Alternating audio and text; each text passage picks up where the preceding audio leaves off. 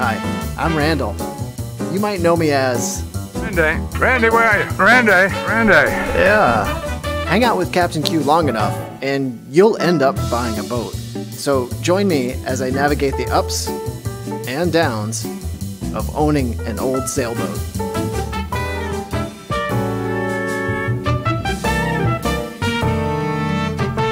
Week, I'm going to jump ahead a little bit. I was going to bring you the next leg of my journey south from Manchester by the Sea to Buzzards Bay, but I was just a little bit too excited not to share this with you as soon as possible. So I'm going to fast forward us to this current off season.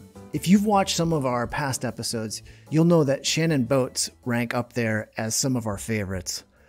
We've looked at a Shannon 28, a Shannon 39, and a Shannon 43 all of them are beautiful offshore yachts. And the founder of Shannon, Walter Schulz, has been building and refining and innovating quality offshore sailboats since he founded the company back in 1975. And you don't have to take my word for it or Captain Q's word for it. Ferenc Máté, author of The World's Best Sailboats, wrote Walter Schulz is the last of a wonderful breed, the complete boat builder. He designed boats and then builds them always interesting and invariably one of the world's best yachts. I've been exchanging emails with Phil Ramos, who is the president of Shannon Yachts, for a few weeks, and he told me that Walter was around, that I, I might be able to swing by and say hi. So I jumped at the chance to meet Walter and the rest of the crew at Shannon Yachts. Hey, how you doing, Randy? Tom. Yeah, yeah. how Randy. you doing? Nice to see you. Is Walter around? Yeah, let me check. He's he's in the back. All right, cool, cool. Hey, Walter. Nice to meet you. Thanks so much for uh, letting me interrupt your day. Welcome to the wonderful world of Shannon. Here we are in a, my exhaust uh, invention here. I've got a patent on a uh, device. It's called RCI uh, to take nitrogen oxide and some CO2 out of diesel engines. We got an NSF grant to support us because the nitrogen oxide is just horrible. Never mind CO2. But I need this for my ampfoil, my electric hydrofoil project. You have got a I'm lot not sure going on. You wanted to ask that question of what am I, what am I doing now? I have a patent on it. We have a boat down in the water. This is we brought up that we're testing, modifying, changing. That begs a lot of questions. Yeah, yeah. It's more questions than you even want to ask. I think I'm going to have to come back and uh, ask you about more about it. You've been gracious enough to let me come interrupt your day, and I was hoping if you have time to come swing by my boat. I'm just down the road, Yeah. and I could really use some coaching because I'm a Yeah, rookie at this. I'll be happy. You know, I remember Henry Shields. I knew Henry Shields in a day. What was your impression of Henry? He's a good guy, but he built some really nice boats. I was probably on your boat at one of the uh, Annapolis boat shows in the 70s. Yeah. Big boat, Yeah. big arc. Ever heard of Noah's Ark? Ever heard of the Titanic? Later, where I really know him is uh, he went into the Scheel Keel. Did you ever use a Scheel keel, Nah, Shannon? no, we didn't. Uh, number one, I don't do bolt-on keels. It was a good idea. Yeah. So that was the harbinger of what became the wing keel on the Australian boat that took the America Cup. That's right. Uh, ben Lexcen, is that right? Lexington Yeah. in 1983. Yeah. Right. So Henry was there, all right, but he was trying to do it just with lead, and he couldn't, you know, it just didn't work. Yeah. All right. It saw what that, you know, you, Yeah. I'm sure you've seen pictures Oh, of yeah. what worked. Yes. All right. That didn't work. But he was on his way. He was looking for shoal draft. Yeah. All right. And to get, I eventually got a patent on something else in 2000 on a thing called the shoal cell to get rid of the centerboard. I want to hear about that too. It's enough. yeah, we built a bunch now that you open the door, you might not be able to get rid of me. No, no, no, no, you're always welcome here, you know that. And, uh, you know, I love what you guys are doing uh, with the show and everything and uh, getting people on boats. You're putting, Yeah. you know, thousands of people on boats. Yeah, that's that's, the- that's just a wonderful thing. It Yeah. really is. If now's a good time, why don't why don't we head down the road and Yeah, I'll uh, I'll jump in a truck and I'll be down there and Okay. give me ten minutes. all right, all right, we'll see you down there.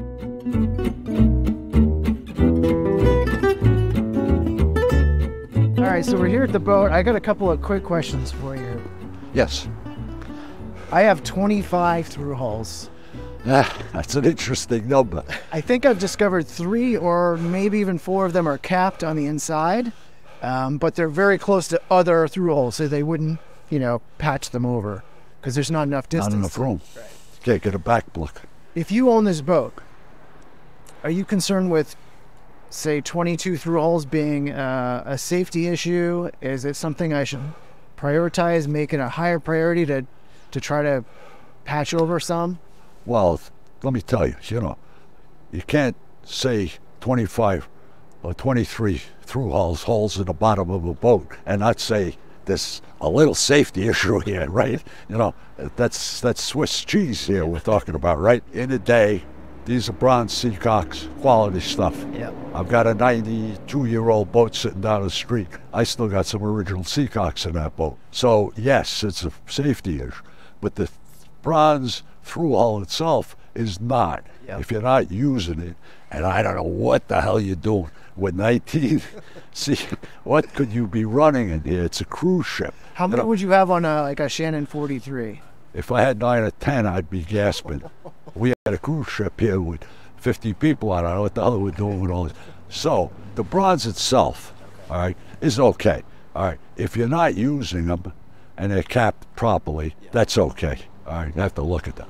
But what is an issue is the hose clamp and hose going to it. Okay. All right, on the ones you're using, and they have to Yep. be able to close. Okay. Now, these are very easy to free up.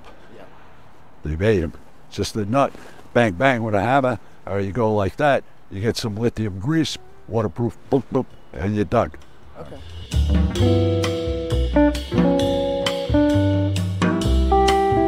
Got a centerboard. Uh, when I'm when I'm tacking, she likes to have the centerboard down to really tack properly. If she, if I don't, it, Yeah, it- no I get- kidding. Get that's why. That's why Henry put it on. Henry Shields back. What's your feeling on this? It's another point of failure. failure. It's another contraption, or it's another item that can mechanically go wrong. It used to be electric. Now it's not electric anymore. Good. Electric doesn't work. Yeah. I had to confront center centerboards in 1980. Yeah. Did not want to because I had such bad experiences when I was working in boat yards. All right, with these things. Uh, What was some of the bad experiences? there it is. It's finding the pin. All right. You know, if you can't find a pin, that's how I met uh, first time Henry Hinckley. All right. Uh, there it is, right there. All right. That's that's a godsend from Henry Shields. Is like a uh, birthday present. All right. He sent you a birthday present with candles to have that. All right. Because what happened in a generation after this, or even during this, uh, Henry Hinckley, Bermuda 40. You can't, there's no, you can't see it. All right. He buried it in a two piece hole. The guy backed the Bermuda 40 onto a pile of rocks, drove as a bronze board, drove the board right up through the cabin sole. And I, I took the job thinking I could fix it. And I said, I can't do it. I'm stumped. Uh, it's, I got to get somebody else. How long did it take you to get to that uh, decision that about a week, uh, and they don't want to hear it. So they paid me to drive uh, to Southwest Harbor, and I met the man. I don't think he said hello or goodbye to me. He just went like that, following him. We get into the glass shop, and there it is.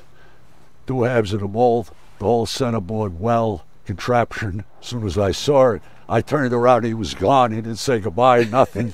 but he showed me the way. Everybody looked at fiberglass as cheap production junk. Henry Hinckley saw it as a superior material to wood, and he was right. He was right. And he taught me everything Hinckley did, I followed, except building yacht club boats, because, you know, I don't look like the yacht club uh, material. And there was a hole in the market, you know, for offshore around the world boats, Westsail tanked. And there I went, you know, It's a little cold out, so why don't we uh, why don't we go up, up top where I've got a little heater that'll that'll toast us up a little. Sounds good. You know, uh, we'll have some coffee and uh, get the chill out of the bones. All right, sounds good.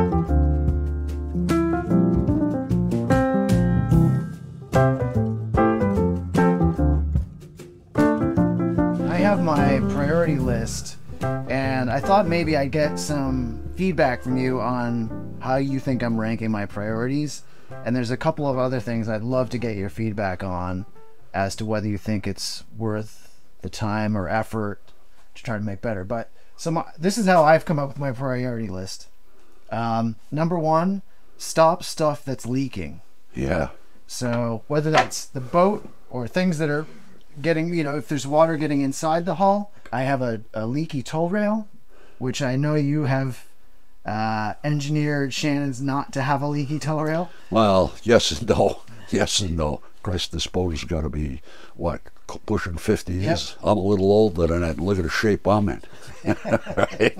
So, uh, yeah, you know, the the one thing on a boat is uh, never say never. Yeah. All right. Um, and I'm sure anybody uh, watching this thing, all right, that owns a Shannon, you know, they'll be sending me email about their leaking toe rail. Now that we mentioned that, Yeah, all right, yeah. So- that's got to be low on your priority list, right? Well, yes Is and it no. irritating you? Why? Yeah, it's it's putting a decent amount of water into the bilge, uh, fresh water into the bilge. Really? Yeah. Well, that's a different story. Where's your leaking one? Right here. That bolt actually drips water Oh, right down. why you took the nut off it? No, it was never there. Yeah, all right. Okay. Well, that's that's about as easy access. That's actually no problem. All right, because that chuck is fitted on top of the toe rail. Yeah. Right, goes down like that. Yep. Right. So it's just a question of freeing those uh, bolts right there and pulling a truck up. Easier said than done. Right. You have to finesse it with a bar. All right, so you don't want to crack the, tow the rail as you're yeah. coming up. But Christ, it's leaking that much though. the way it is. Would there be something else that would be leaking more? Uh, yeah, yeah, that's what I'm thinking. Like that chain plate. Yeah. It's hard to believe, you know. And you'll see what I'm talking about when we pop that truck off, chuck off. That you're getting that much water. It's it's a pretty slow drip that comes off that nut, and then when I end up in the bilge, I end up with, you know, a gallon or two or three Over what after a period of heavy time? rainstorm. Oh, really? Yeah. With a boat? Yeah. You know, uh, it's not like a house or an automobile or even a uh, airplane for that matter. Uh, things I've never failed to be surprised. Yeah. That chain plate right there is a big suspect Yeah. Because it's always microscopically moved. It's uh, uh, Constant. constant. The, What's usually the issue there? Is it just the bedding? yeah. Well, the bedding is dead. Yeah. 50 years. Yeah. Bedding goes south 20 years. That's about the the limit with with uh, bedding. Well, you got to you see the plate. Yep. You got to pop that, Yep. clean out all the old junk, put it down. So engine coolant, I measure it before I start the engine, and then go out for a two-hour cruise, and then I look underneath the engine, and now I've got a, Oh, half gallon. So you, you don't you don't see where it's coming out of. Oh, okay. So I've got to find the leak in the engine, and in order to do that, I was looking at it and just like can't, you know, underway I can't see. Uh, it's it's just too dark. I'm making it into a slightly bigger project, which is to clean up the engine room and to light it up with lighting and new sound dampening and sound deadening. Let's, you got freeze plugs on the side of that engine. All right. Okay. Every engine. Yeah. All these iron blocks have freeze plugs. Okay. What's a that? little round it's a little round thing Okay. jammed right in to the side of the engine mostly the copper and an iron block those fail mm. all right and when the engine's running What's the purpose of the freeze plug? before this there was no antifreeze i'm old enough to i came in on the tail end of antifreeze we were using alcohol my father was all right in cars in the winter you put alcohol in the engine you had to take it out in the spring you know Yeah. uh, and put water back in because Okay. the alcohol would overheat the cars. That's the most likely spot. I'm using the engine leak as a motivator to clean it all up and learn it, learn what wire goes where, what's broken. I mean, a lot of my gauges don't work, so oil pressure, oil temp doesn't work. Um, my my fuel senders don't work. I have the tank tenders that don't work. Uh, So well, uh, But they never do. All tank tenders. That's another idea that came and went. Yeah. Um, yeah, that was a good idea on paper. I mean, I never used them, but everybody was using them because they look good at a boat show. So what do you use in lieu of that? Two wires later on, three. All right, just go to a gauge. Okay. All right, it's an impedance, imp- impedance Yeah, yeah. Uh, gauge. All right, and there's a little, little floaty on the goddamn thing. This concept of pumping air, and you can feed back air pressure. I mean, it was good for a laugh for me uh, and all the guys. You know, they were boat grunts like me, kind of boatyard business. You know, you see those things, you just left. Is that something I could retrofit onto this? Oh yeah, Yeah. yeah. It's little number uh, 14 gauge uh, wine. Nothing. Oh, easy. Oh, easy, easy.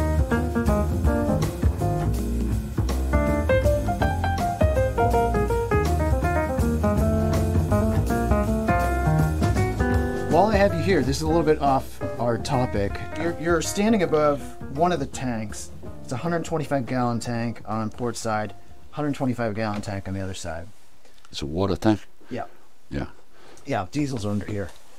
Um, as I've gone through and started to organize and get things labeled, I I realize I can't get down in the bilge, and it kind of bothers me that it's 39 inches deep and these giant tanks are in my way. I don't have an inspection port on the tanks. Do I need with with modern day water makers? Would it would there be any sense in putting in two smaller tanks that give me better access to the deeper parts of the bilge and then having a water maker somewhere on board if I really want to go on offshore passage.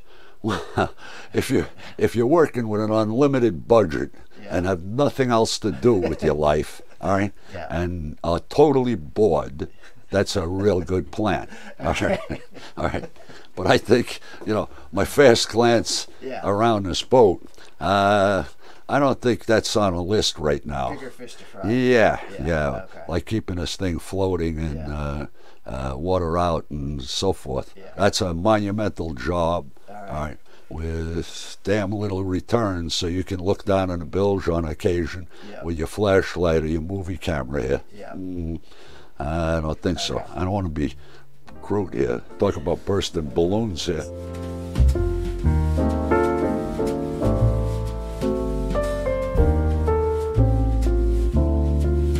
Diesel tanks. I've got 50 year old diesel tanks, right? I have not dug into them. I'm sure there's all kinds of creatures and bio bugs, right? You bet. The whole bottom of the tank is coated with, and it, it's it, it's a living creature, by the way. Yeah, it's amazing stuff. It's, Yeah. You know, I've seen it. You know, cutting tanks open and stuff, pulling them uh, apart. Boats that were coming up out of the Caribbean in that period, those were all uh, black iron tanks. Yeah. You know, and it's a nightmare. Yeah. Because when you get in the sea, all right, the stuff breaks off. Yeah. All right, and it gets up into the strain. So we were cutting them tanks out, you know, uh, with with hacksaws. Yeah. They could be 50-50 too, the tanks. Oh, there we go. One right there. So 75 gallons, Yeah. and that's my port. There's one right next to it on the starboard side. Well, I could see that Henry gave you easy access to get them out. And sarcasm is like a second language to me. Interesting. Stock tanks in a day. Need a tool or something? Yeah, I'll get it. Nah, you ever talking to no, not, not, not a hammer. There's a lot of jobs in this boat that need a big hammer. This isn't one of them. Oh, look at this. We got a fairy cushion.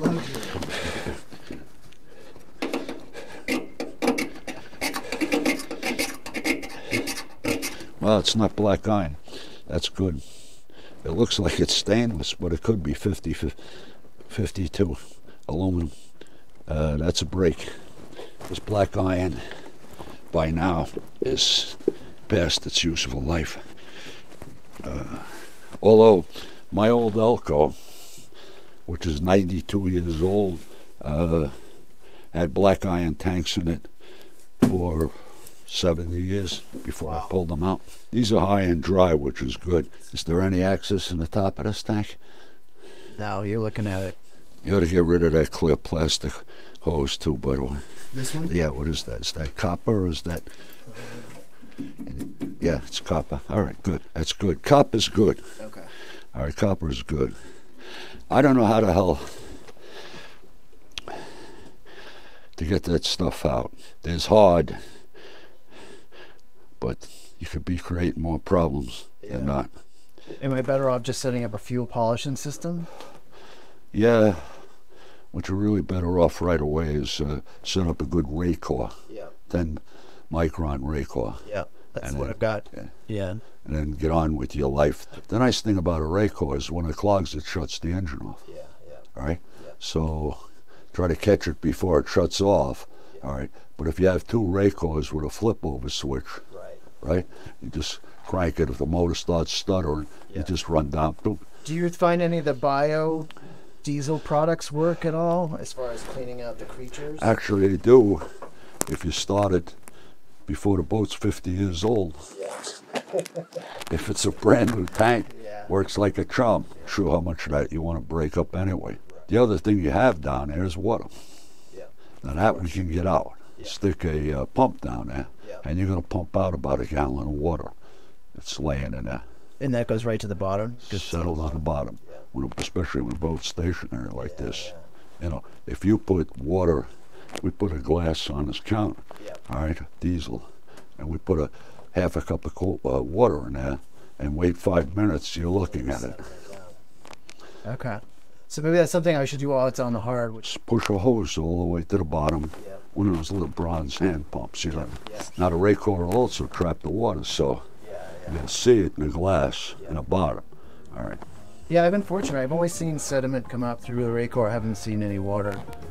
May not be water there. Uh, you never know.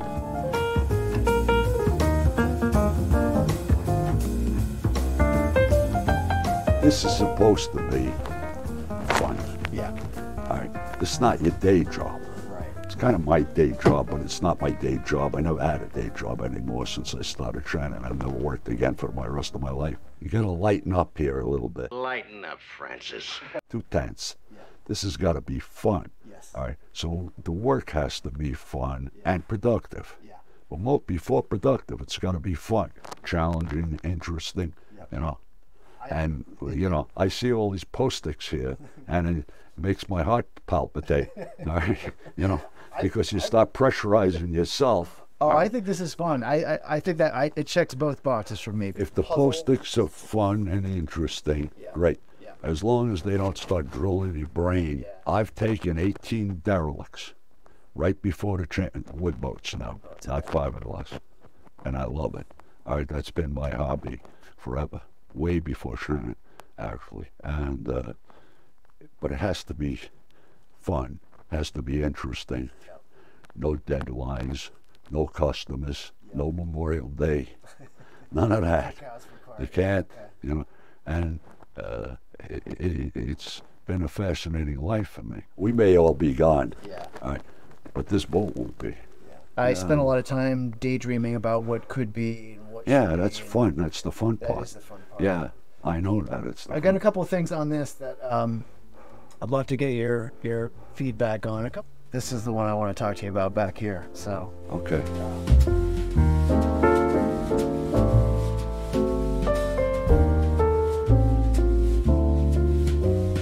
So this is a little bit of a spoiler. I was going out for a sail with a friend and we came back in and everything seemed great. As I was buttoning up the boat, I looked in the bilge and I discovered a whopping 20 gallons of salt water in the bilge. And there were no through holes that had any sign of any kind of water intrusion. So after a few hours of trying to figure it out, I took a look at my stuffing box. And sure enough, it was dripping fairly consistently. A few drops every second.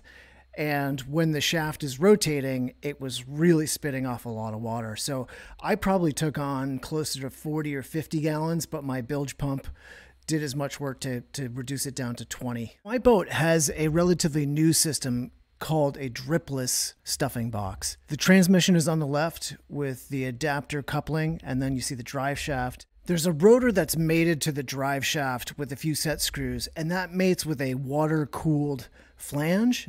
And that interface between the flange and the rotor is really critical. Now, the problem with this system, as I see it, is that interface, when worn, becomes catastrophic. Because I only motored for about two hours and took on somewhere between 20 and 50 gallons of water, I really see this as a deeply flawed system, and the consequences of a failure are really high. I've talked to a few other boat owners, and more than a handful have had similar experiences of taking on lots of water. I'm curious to hear from any of you if you had any dripless stuffing box systems fail on you. And I'm also really interested to hear what Walter has to say.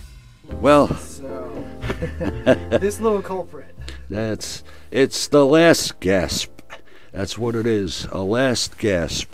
All right. Right before uh, you do an April 15th, 1912, They called her Titanic. You get to be Leonardo DiCaprio floating on a door. this was such a terrible idea. This was a solution to a problem nobody was having. I mentioned that old Elkhart I have. That boat's 92 years old, and the packing gland, bronze part of it, is all in place 92 years later. It's one of the few things I'd ever replaced on a boat. Didn't have to. That's got to go. How many How- how many bilge pumps you got in this boat? I've got three. You need 12 if this thing lets go. So it did let go a little bit this summer. Yeah, I'll bet it did. Dumped in uh, 17 gallons in two hours. It'll sink the boat. Yeah. All right. It's definitely last gasp. It's the last gasp right before you drown. Yeah. Um, How hard a job is that to to put in as a more traditional? it's a boat job. It's a pain in the because of the access. All right. The hardest part of this whole job is the the coupling on the end of the shaft where it bolts to, to the engine. Yep. You got to get that coupling off. Yep. All right, and slide the whole shaft out. Yep. All right. Once you get that coupling off, it's easy. Then you pull the shaft with the propeller on it, or you, if it comes off with the propeller, because you got to get the shaft past that right there. Put the hose back on, and on the hose, not this hose, it's got enough clamps on it. Considering the thing is going to fail there, you got the 14 clamps on the thing, and uh, that's not the problem. The problem is the inherent design flaw of that piece of junk. Well, you know, the other thing while looking, once the shaft comes out, that's the time to look at the, uh, the cutlass bearing on the shaft. Once it's out, you might want to replace that whether you need it or not. All right. Uh, because it's easy once the shaft is out, and you can't do it with the shaft in. So you'll only do this job once in your lifetime. But it's got to go. You brought this boat down from Maine, huh? I did. Boy, the gods smiled on you. The gods smiled on you. Terri- terrifying, terrifying. Titanic, April 15th, 1912. Ooh, ooh.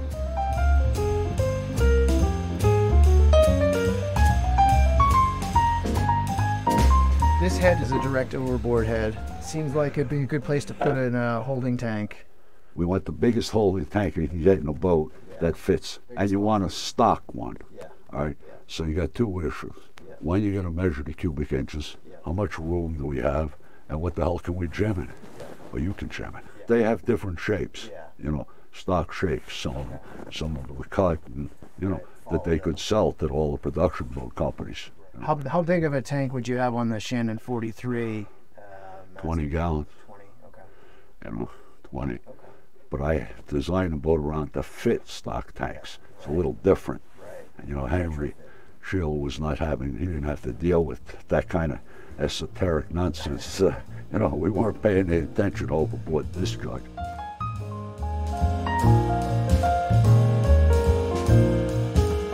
So I've got these separated berths here, right? These bunks. Yeah, Um, not conducive to uh, cuddling. no, pro cuddling. So here's a thought that I had. This space that we're standing in now would actually make a decent sized double if you had something that maybe folded out or pulled out this way. Uh, yeah, and there's an opportunity here too. So, I mean, this is an awfully big step too that you could put more storage in. I, feel right. a Yeah, this is potential a, a crazy wasted space here. Yeah. Um, you know, uh, I have to think about it, but the answer is, of course, there is. Yeah. You know, Winston Churchill, Winston Churchill. All right. The key to every great problem you'll find common sense. Yeah. And that's where we're at here. Yeah. This is a common sense solution, and there is one. Yeah. It just take a little while Yeah. uh, to uh, come up with it. This But- is one of those ones that's fun for me to think about uh, as I do other things. I like. But yeah, we can. I just did. Uh, I redid. It was an insurance job uh, for Shannon on. Uh, the boat sunk 43. That's the boat that's actually at the shop now. We just finished it, and um, they were having difficulty. Not not young folks like you getting into the forward cabin that I designed 22 years ago, and you know it's one of those. Uh, who was the jerk that designed this thing? We can't get the hell in the boat, right? And then when I saw it, uh, I couldn't get in a bunk either. So it shows you what kind of genius I was 22 years ago. Uh, well, even last week, and I redesigned the thing, the slide out, all right, and Bob Bluffs and the step, and boom, they could get in and out. They were up a couple of weeks ago, and I field tested. These folks were in their 60s, and um, it worked. Uh, and that's the same thing we have here. Yeah. You know, Henry must have got tired when he got back here. I've I've been known to do it too. I said to these to these real nice people that I own a 43. I said, you know, by the time I got to the bow of the boat, I was exhausted.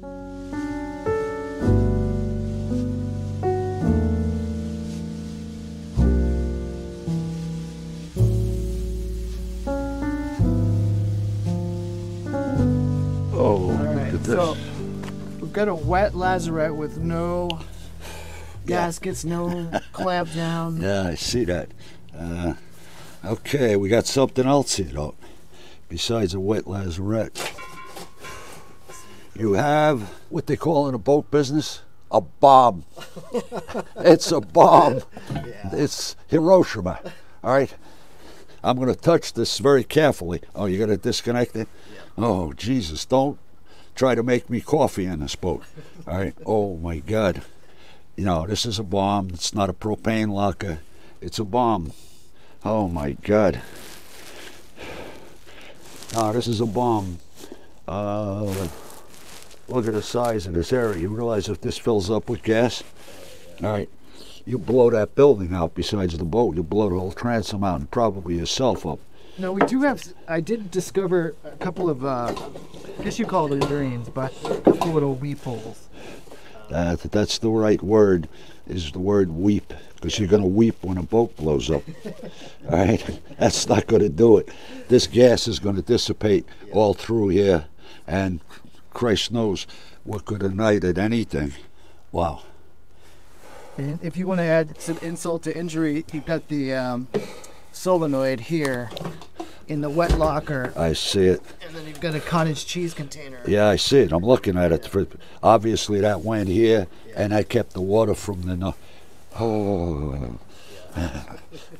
Hiroshima. We got a bomb and a sinker. Oh, Jesus. This is no problem. We can make a gasket. Just put a piece underneath here. All right. What about clamping force to, to make it tight? Well, that's that we're going to do with this. So that's not a problem. All right, just modify that a little bit. And then underneath here, well, you see, in defense of Henry, there was no propane when this boat got built. Really? Coast Guard, Oh, would you use alcohol? you had to. You couldn't get insurance. All right, and what a nightmare we had. I was in two boat fires, both alcohol stoves. So was everybody. All right, Shannon number one, when I built it just to get it to Annapolis, I had to put an alcohol stove. And then down in Newport, lighting the stove to make some coffee, I set an employee on fire. Uh, I did it, not badly though, but it was good for a laugh. A decent bonus that year? No, no, it was good for a laugh. Had the big bell-bottom pants dragging on the thing, and the thing was leaking alcohol. I lit the stove, and it set his pants on fire. It wicked up his leg. Laugh, oh Jesus! And I was shooting him with a fire extinguisher. We'll put another piece Yep. underneath here, cut, you know, to fit. Put a uh, half inch or more strong uh, uh, gasket Yep. all around, and then when you drop it, push down. to- Okay, yeah. and that's it.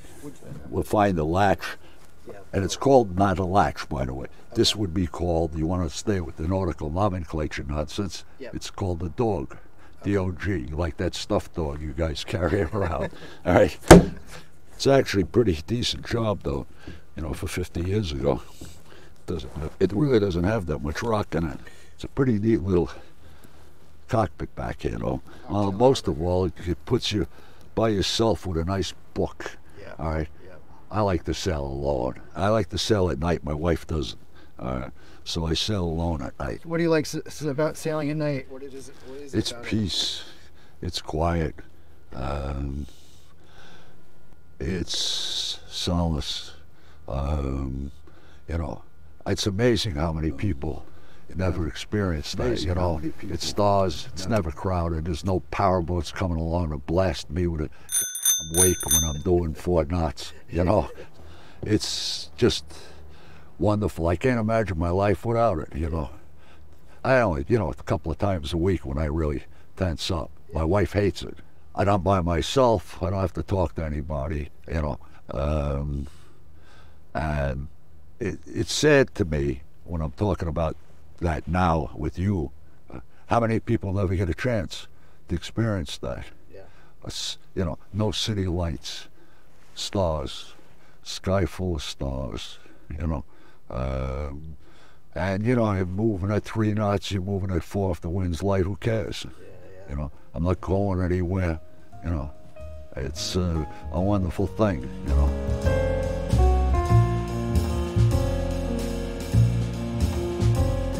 What's one of your favorite memories of sailing? Oh yeah, it's at night. It's always at night. Is there a particular night that stands out in your Yeah, memory? yeah. We were coming out of Annapolis, and we got in a three or four o'clock in the morning. We got it was cold though. I had a jacket on like this, cold like this, coming out of Annapolis in October, and it was a meteor shower. All right. And I, was, you know, and once again, I was in the cockpit alone. I had the crew down below, and all of a sudden, bam! All right, it was just shooting stars everywhere. Joshua Slocum said there are no infidels.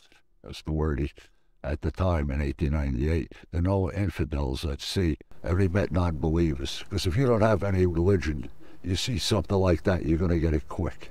You want to talk about feeling small and unimportant is when you see a meteor shower. Up in Maine, I got to see sailing uh, uh, Northern Lights. Yeah, we were just off of Bahama, and uh, in a dock, same thing, middle of the night, and that was really, you know, uh, you know, I've seen it in Norway. I've been in Norway, but it's not the same when you're on land. But when I was on a boat, once again by myself, and I didn't even know what the hell it was. I thought at first it was some kind of flares of fire, but there was nothing but open sea in front. And then I realized what I was looking at, and the sky. I mean, magic.